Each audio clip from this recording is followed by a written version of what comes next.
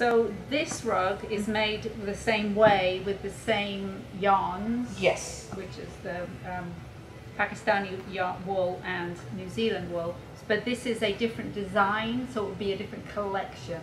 Is that right? Yes. So we call these. Uh, this is a, basically a variation that the Pakistani rug industry came up with, and they said, okay, uh, you know, uh, these sell again the two colors that you showed.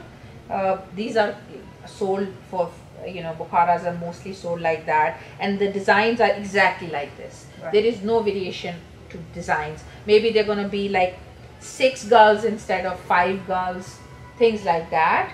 But then we came up with a variation uh, is okay we can do different colors and we can design little bit in boxes again.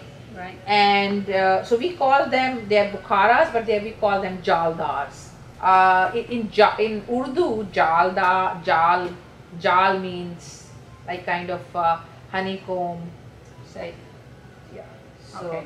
so that's basically Right. it's called Okay. jalda.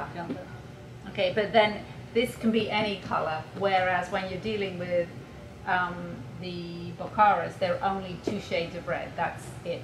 You can have different colors but normally people you won't But, but for these, the gel um, Geldas, you can have any color. any colors yeah, yeah. yeah. So this is um, this is the same as the green, yes almost.